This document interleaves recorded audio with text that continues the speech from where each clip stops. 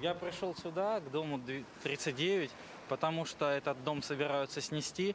Я собираюсь на память снять о нем тоже видеоролик о том, какой он был.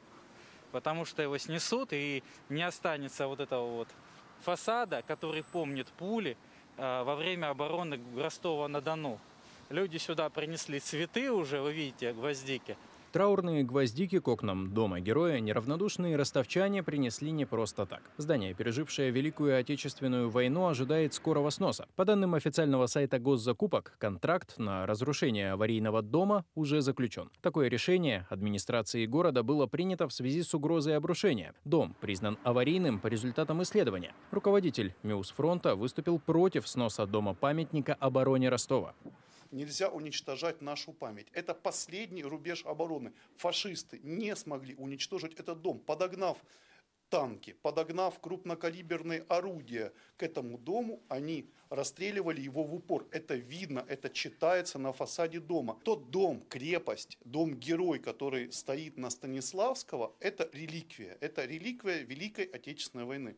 Настоящая историческая ценность здания – его фасад. Здесь сохранились многочисленные отверстия от сотен осколков и снарядов немецких орудий. Активисты хотят отстоять хотя бы эту часть, чтобы сохранить память о доме ветеране войны. Вряд ли целый дом получится сохранить, потому что состояние дома внутри очень плохое. Думаю, вы сами это тоже все видели. Но, как по мне, было бы идеально, раз на доме есть следы войны, таких домов очень мало по городу осталось. Ну, по пальцам одной руки, скорее всего, можно пересчитать, где следы от пули осколков снарядов.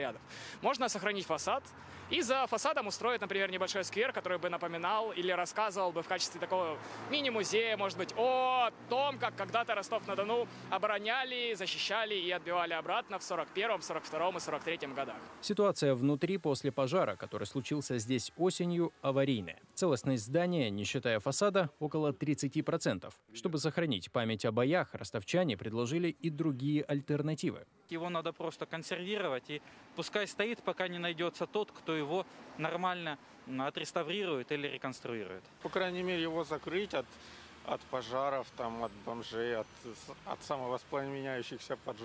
как это, поджогов, от хлопков. Ростов-на-Дону – один из самых пострадавших городов России в ходе Великой Отечественной войны. Чтить память немногочисленных домов ветеранов, которые уцелели для многих жителей Донской столицы – нравственная необходимость. Всеволод Гимбут, Алина Зименко, Юрий Друзякин, Дон-24, Ростов-на-Дону.